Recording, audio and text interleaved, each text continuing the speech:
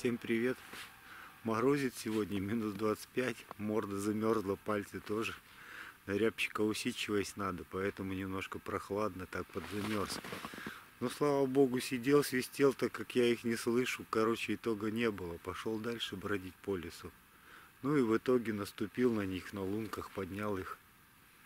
Погонял немножко, да пострелял чуть-чуть. Ладно, друзья, все хорошо. В лесу сказка, красота.